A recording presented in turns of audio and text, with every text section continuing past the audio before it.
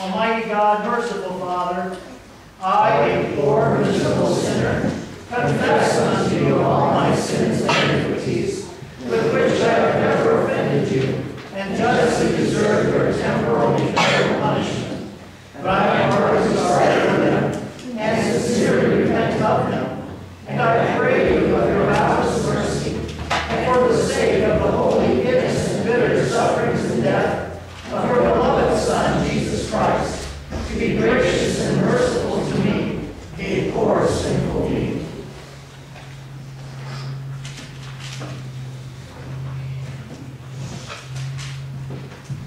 Upon this your confession, I, by virtue of my office as a called and ordained servant of the Word, announce the grace of God unto all of you.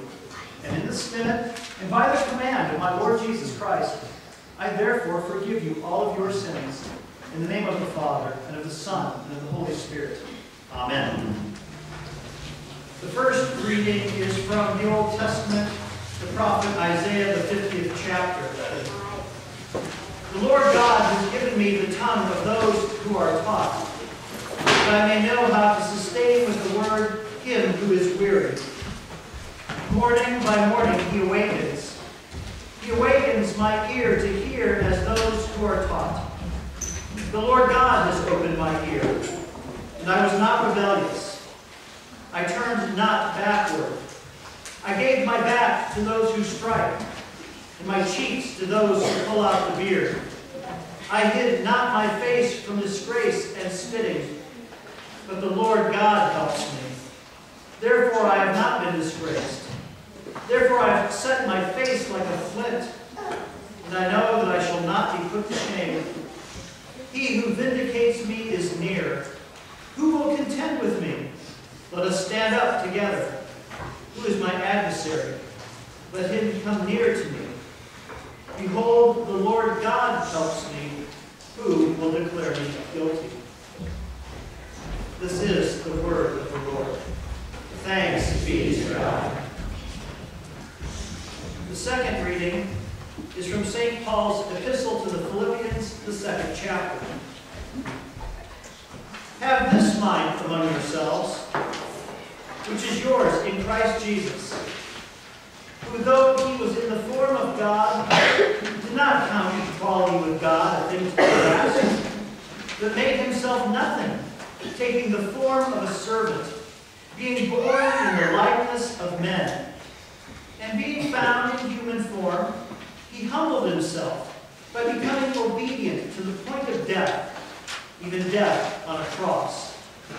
Therefore, God has highly exalted him and bestowed on him the name that is above every name, so that at the name of Jesus every knee should bow in heaven and on earth and under the earth, and every tongue confess that Jesus Christ is Lord, to the glory of the Father. This is the word of the Lord. Thanks be to God. Christ entered once for all into the holy places by means of his own blood, thus securing an eternal redemption. Therefore, he is the mediator of a new covenant, so that those who are called may receive the promised eternal inheritance. He sent redemption to his people. He has commanded his covenant forever. Because of the length of the reading of the Old Testament lesson, we remain seated. The Holy Gospel according to St. Matthew, the 26th chapter.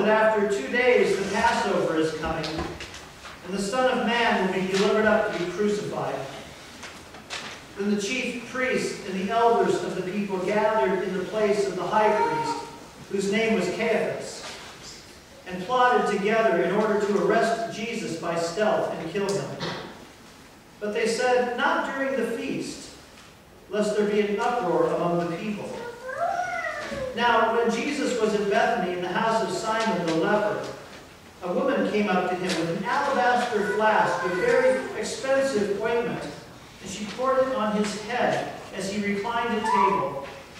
And when the disciples saw it, they were indignant, saying, Why this waste? For this could have been sold for a large sum and given to the poor. But Jesus, aware of this, said to them, Why do you trouble this woman? For she has done a beautiful thing to me. For you always have the poor with you, but you will not always have me. can In pouring this ointment on my body, she has done it to prepare me for burial. Truly I say to you, wherever this gospel is proclaimed to the world, what she has done will also be told in memory of her. Then one of the twelve, whose name was Judas Iscariot, went to the chief priests and said, What will you give me if I deliver him over to you? And they paid him thirty pieces of silver. From that moment he saw an opportunity to betray him. Now, on the first day of unleavened bread, the disciples came to Jesus, saying, Where will you have us prepare for you to eat the Passover? He said, Go into the city to a certain man and say to him, The teacher has, says, My time is at hand. I will keep the Passover at your house with my disciples. And the disciples did as Jesus had directed them, they prepared the Passover. When it was evening, he reclined at table with the twelve. And as they were eating, he said, Truly I say to you, one of you will betray me. They were very sorrowful and began to say to him, one after another, Is it I, Lord? He answered, He who has dipped his hand in the dish with me will betray me. The Son of Man goes as it is written of him. But woe to that man by whom the Son of Man is betrayed. It would have been better for that man if he had not been born. Judas, who would betray him, answered, Is it I, Lord? He said to him, You have said so. Now as they were eating, Jesus took bread, and after blessing it, broke it, and gave it to the disciples, and said, Take, eat, this is my body. He took a cup, and when he had given thanks, he gave it to them, saying, Drink of it, all of you. For this is my blood of the covenant, which is poured out for you for the forgiveness of sins. I tell you, will not drink of, again of this fruit of the vine until that day when I drink it new with you in my Father's kingdom. When they had sung a hymn, they went out to the Mount of Olives. Then Jesus said to them, You will all fall away because of me. For it is written, I will strike the shepherd, and the sheep of the flock will be scattered. After I am raised up, I will go before you to Galilee. Peter answered, Though they all fall away because of you, I will never fall away. Jesus said to him, Truly I tell you, this very night, before the rooster crows, you will deny me three times. Peter said to him, Even if I must die with you, I will not deny you. And all the disciples said the same. Then Jesus went to them to a place in this, with them to a place in Gethsemane. And he said to his disciples, Sit here while I go over there and pray. Taking with him Peter and the sons of Zebedee, he began to be sorrowful and troubled. He said to them, My soul is very sorrowful, even to death. Remaining, remain here with me and watch. And going a little farther, he fell on his face and prayed, saying, My Father, if it is possible, let this cup pass from me. Nevertheless, not as I will, but as you will. He came to the disciples and found them sleeping. He said to Peter, So could you not watch with me one hour? Watch and pray that you may not enter into temptation. The spirit indeed is willing, but the flesh is weak. Again, for the second time, he went away and prayed, My Father, if this cannot pass until I drink it, your will be done.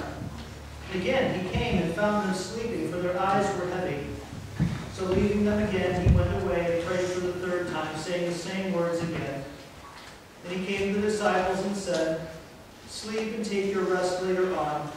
See, the hour is at hand, for the Son of Man is betrayed to the sinners. Rise, let us go. See, my betrayer is at hand. Now, later on, Peter was sitting outside in the courtyard, and a servant girl came up and, to him and said, You also were with Jesus the Galilean. But he denied it before the all, saying, I do not know what you mean. And when he went out to the entrance, another servant girl saw him, and she said to the bystanders, This man was with Jesus of Nazareth. And again he denied it with an oath, I do not know the man. After a while, the bystanders came up and said to Peter, Certainly you too are one of them, for your accent betrays you. And he began to invoke a curse upon himself and to swear, I do not know the man. And immediately the rooster crowed, and Peter remembered the saying of Jesus, Before the rooster crows, you will deny me three times. And he went out and wept bitterly. When morning came, all the chief priests and the elders of the people took counsel against Jesus to put him to death. And they bound him and led him away and delivered him over to Pilate, the governor. Now Jesus stood before the governor, and the governor asked him, Are you the king of the Jews? Jesus said, You have said so. But when he was accused by the chief priests and the elders, he gave no answer. Then Pilate said to him, Do you not hear how many things they testify against you? But he gave him no answer, not even a single charge. So the governor was greatly amazed. Now at the feast, the governor was accustomed to release for the crowd any one prisoner whom they wanted. And they had a notorious prisoner called Barabbas. So when they had gathered, Pilate said to them, Who do you want me to release to you, Barabbas or Jesus, who is called Christ? For he knew that it was out of envy that they had delivered him up. Besides, while he was sitting on the judgment seat, his wife sent word to him, Have nothing to do with that righteous man, for I have suffered much because of him today in a dream. Now the chief priests and the elders persuaded the crowd to ask for Barabbas and destroy Jesus. The governor again said to them, Which of the two of you do you want me to release to you? And they said, Barabbas. Pilate said to them, Then tell me, what shall I do with Jesus who is called Christ? They all said, Let him be crucified. And he said, Why? What evil has he done? But they shouted all the more, Let him be crucified. So when, Jesus, so when Pilate saw that he was gaining nothing, but rather that a riot was beginning, he took water and washed his hands before the crowd, saying, I am innocent of this man's blood. See to it yourselves. And all the people answered, His blood be on us and our children. And then he released for them Barabbas, having scourged Jesus, delivered him to be crucified. Now, from the sixth hour, there was darkness over all the land until the ninth hour. And about the ninth hour, Jesus Christ called out with a loud voice, saying, Eli, Eli, lema sabachthani. That is, my God, my God, why have you forsaken me? And some of the bystanders hearing it said, This man is calling Elijah. And one of them at once ran and took a sponge, filled it with sour wine, and put it on a reed and gave it to him to drink. But the others said, Wait, let us see whether Elijah will come to him and save him. And Jesus cried out again with a loud voice, and yielded up his spirit. And behold, the curtain of the temple was torn in two from top to bottom, and the earth shook, and the rocks were split. The tombs also were opened, and many bodies of the saints who had fallen asleep were raised. And coming out of the tombs after his resurrection, they went into the holy city and appeared to many. When the centurion and those who were with him, keeping watch over Jesus, saw the earthquake took they were filled with awe and said, Truly, this was the Son of God.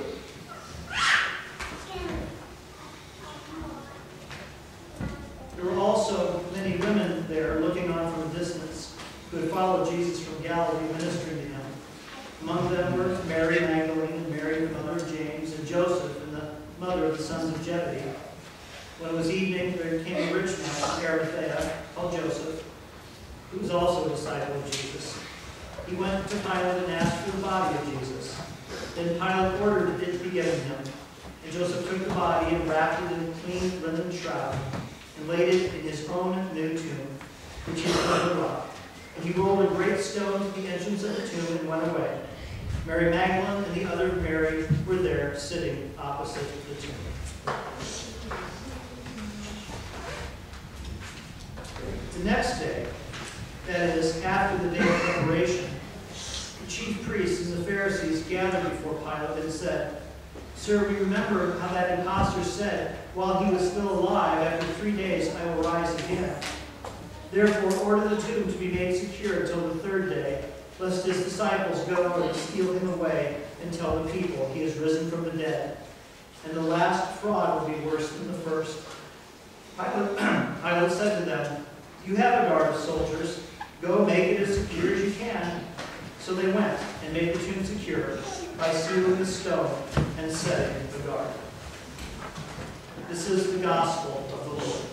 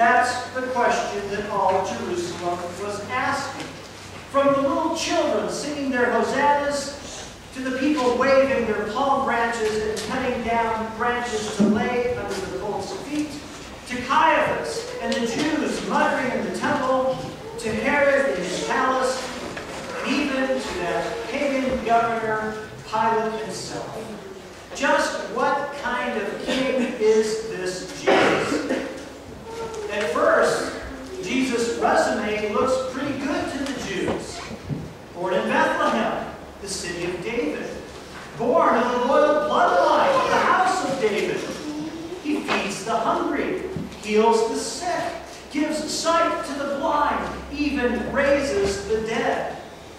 All the marks of a true Messiah. So far, so good. But then Jesus has to take things too far. Forgive sins? Only God can do that. And in doing so, by his words and deeds, Jesus makes himself out to be God in the flesh. And to the Jews, that's blasphemy. And they can't accept a Messiah who says and does that. So what kind of king and Messiah is this Jesus? Of course, he's more than just an earthly king. He is more than just a prophet. He is King of kings, Lord of lords. He is prophet among and over all the other prophets. And that's what causes fear among the earthly rulers of both the kingdoms of the left and the kingdom of the right. Neither the Jewish religious leaders nor the political leaders want this kind of Jesus. You see, they don't want to lose their authority and their power. Dear Christians, they need not fear. Because Jesus' kingdom is not of this world. Rather, St. Paul describes Jesus' kingdom to the Philippians in this way. Though he was in the form of God, did not count equality with God a thing to be grasped. But he made himself nothing, taking the form of a servant, being in the likeness of men, being found in human form, he humbled himself, becoming obedient to the point of death, even death on a cross. So what kind of king and Messiah is Jesus? He's the kind who came humbly born of a virgin, as prophesied by the prophet Isaiah, born in a stable, lowest of the low. In contrast to the kings of this world, Jesus is the kind who came to be a servant to all. The kind who chose to show mercy rather than put his enemies to death by the edge of the sword. The kind of king who did not count his power and glory and greatness something to be lorded over those who are weak and dying. Jesus is the kind of king who comes bringing peace because he is the Prince of Peace. Jesus is also a king of justice, but not as the world brings. The world produces the most unjust rulers and tyrants. As Lord Acton once said, power corrupts, and absolute power corrupts absolutely. But Jesus is the kind of king who is not corrupted by power. Rather, he changes and makes perfect that which is corrupt. He's the kind of king who takes that takes care of more than just the physical needs of his people. As Luther said, he's no mere bread king, providing food for the belly. Instead, Jesus is the bread of life, who gives himself as the bread for the needs of the sins of the world. So whosoever believes in him, consumes him, believes his word, and trusts in him, will not perish, but have eternal life. Because Christ comes to be the King who delivers his people from their sins and even death itself by bringing forgiveness to those who are his disciples and followers. Because that's what the true Messiah does. And Jesus is the kind of king who lives up to his name. Jesus, God, who will save his people. That's what the people were asking when they were chanting, Hosanna, God save us. And of course, just as Isaiah prophesied, he's also Emmanuel. God who is with us. God who is not far off, but God who is as near as His Word in our ears and in our mouths. Because our Lord Jesus, He's the kind of King who came to die that others might live eternally. He's the kind of King who shows His obedience to His Father and His love for others by sacrificing Himself for people who have done nothing to deserve it. And because of that, He's died for the sins of all the people. You and me as well, even unbelievers. You see, that's the kind of king we have. The king of love, my shepherd is. And Pilate, as Jesus confronts him, he has these words to say. Jesus responds, saying, My kingdom's not of this world. If my kingdom was of this world, my servants would have been fighting, that I may not be delivered over to the Jews. My kingdom is not of this world. And that's why we can't expect the kings and kingdoms of this world to make our lives a paradise here. We have a different kingdom where we find our comfort, our eternal hope, our joy is not to be found in the things of this world alone. Yes, we want our earthly princes to be just and good. We want our presidents to be honorable and protect our nation and its welfare.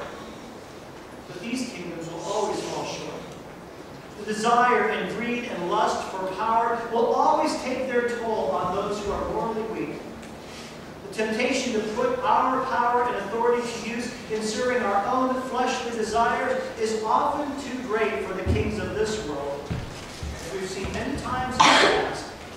And not just among kings. Lust, greed, selfishness strikes much closer to home, wherever we are. In the workplace, certainly in the government, but also in the church, at school, even in our homes. There are times when we fail to be the kinds of leaders that we are called to be as Christians, whether it be in the family or at work. There are times when we fail to love others as ourselves and put the needs of our neighbors first. Sadly, all too often, we put our needs ahead of everybody else's. Therefore, all earthly rulers and authorities are suspect. For all earthly rulers fall short of the glory of God and the righteousness of Jesus our King, because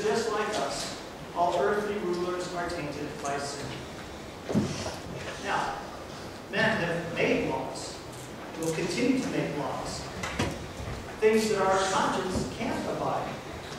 And because of that, our allegiance must be to Christ and His Word first and foremost. Because He alone uses His divine authority not to serve Himself, but to serve others. It doesn't mean that earthly rulers can't do good or be used by God. God even used Pilate to give the Jews an opportunity to repent. Over and over, he asked them, Behold your king. What do you want me to do with him? But sadly, what's their response? Crucify him. We have no king but Caesar. Remember, the Jews were supposed to have no king but God. But sadly, they had abandoned their faith. They even go so far as saying, Let his blood be on our heads. Oh, Lord, have mercy. Pilate will be the one to place the plaque above Jesus' head, which declares Jesus' kingship during his crucifixion. Jesus of Nazareth, King of the Jews. But Pilate does so not because he believes that Jesus is a true king, but rather to shame the Jews for their forcing him to crucify an innocent man. So while Pilate may not believe it, his words are true. Jesus Christ is the King of the Jews. But he's also so much more. Jesus is Lord of all. What Pilate could not know was that because Jesus was the Son of God, Jesus was Pilate's king as well. He just didn't have the faith to believe it. That's why in the end, every knee will bow, every tongue will confess that Jesus is Lord. Because on the last day, even those who are unbelievers in this life will be confronted with the reality of Christ's eternal kingship. Sadly, even Jesus' own people, the Jews, rejected their servant king because he wasn't the kind of Messiah they wanted. Instead, choosing the world and their own sinful desires over the Son of God, they chose to put him to death and release the murderer. And this is true for all who choose to pledge their allegiance to the world and the flesh rather than to Jesus, the Word made flesh. And of course, we too, all too often, take our part in this shame as well. Because every time we sin against one of God's laws and commands, knowingly doing what God has told us not to do, guess what? Christ's blood is on our hands as well. Because every time we sin and try to convince ourselves it's not sin, take, saying to ourselves, that doesn't matter, that's no big deal, God will forgive me, we too are no better than the murderer Barabbas. Ignore God's word, doing or believing whatever we think is right in our own eyes, we are no better than the taunting Jews who demanded that Christ come down and save himself. In fact, when we turn away from God's word or use it to suit our own needs, we're no better than the devil himself, who would put God's word to the test, testing God's love to really prove that he's worthy of our worship, praise, and obedience. Does Jesus do? What's our King's response when we fall into such a temptation? Just as the notorious murderer Barabbas is set free, our Lord takes the punishment that we deserve. Because just like the thief on the cross who was crucified next to Jesus, Jesus is put to death so that murderers, adulterers, liars, cheats, thieves, that includes us, be. Because what kind of king is our Messiah, our Christ? Is the fact that he humbled himself become man, being born of a virgin, suffer and die, mean that he is weak and helpless? No. Remember, Jesus said, I lay down my life. No one takes it from me. He died when he decided it was finished. Just remember the words of the Apostle Paul to the church in Philippi. Therefore God has exalted him and bestowed on him the name that is above every name. So that the name of Jesus, every knee should bow in heaven and on earth and under the earth, and every tongue confess that Jesus is Lord to the glory of God the Father. And we do exactly that when we humble ourselves to kneel before his cross. Actually humbled by God's law, we turn to Christ, trusting the gospel. Remember that Jesus, as he was hanging on the cross dying, could have called down the heavenly angelic host to do his bidding. He who spoke the world into existence could have destroyed those who were taunting him and who pierced his flesh with the nails. Your Lord, even hanging on the cross, had the authority to call down fire from heaven to stop the mouths that were deriding him. Christ was only helpless because of his own willingness to die and be obedient to his heavenly Father for your sakes and mine. To the Jews and the Romans, no earthly king or president has any real authority over our king. And that's why as he hung on the cross, Jesus said, Father, forgive them, for they know not what they do. Just as we often do. They were sinning against God and they didn't know or care. They didn't realize who their true king was. Their king was their bellies and their wealth. And so it is for all who deny Christ, eating more of the things of this world and not caring about his good of life. But for us who believe, Jesus is our king. We have no other king. We need no other king. We willingly submit ourselves to the princes of this world. But Christ alone is the one we are to follow. We do that by listening to, learning, and hearing his word. You see, no other prince or ruler of this world can bring you peace and reconciliation with God. And that's what counts. And Christ has done that. Despite our sin, our tongues do confess that Jesus is Lord, that He is our King and our God, even if we don't always live as if we actually believe that. Every time we confess the creed, what we memorize in the small catechism, that I believe that Jesus Christ, true God, begotten of the Father from all eternity, and true man, born of the Virgin, is my Lord, we are confessing our faith. We confess before man the faith that we share in God, our King. Every time we make the sign of the cross, we remember our baptism. We remember that we've been baptized into Christ's crucifixion, death, and therefore his resurrection. We too remember that our Lord had a crown of thorns crushed into his head. Jesus placed the crown of life upon ours. Every time we hear and believe the blessed words of the gospel, your sins are forgiven and shed for you, your King is telling you how much he loves you, that he has done that for you. So what kind of king do we have? Without a doubt, the kind of king who appears weak and who dies. But our king did not sacrifice himself in vain, because it is in his death that our king saves his people by dying for their sins. Not ours only, but for the sins of the whole world. And that's why we, who are subjects of this noble, glorious, resurrected king, can boldly proclaim even to the most hardened of sinners, and the most mocking of atheists, Christ Jesus died for you. Because we know that while we were yet sinners and enemies of God, Christ Jesus died for us as well. And this is what makes all the difference. But also this, too. We can rejoice that our King is not dead and gone. Our King has risen from the dead, lives and reigns to all eternity. Because he was raised from the dead, the glorious resurrection that we will celebrate next Sunday, we too have the promise of eternal life. Therefore, as the people of God have always said, Hosanna, save us, Lord. Blessed is he who comes in the name of the Lord. Blessed is the Son of David. Glory to God in the highest. We thank the Lord for his sacrifice for us. In Jesus' name, amen.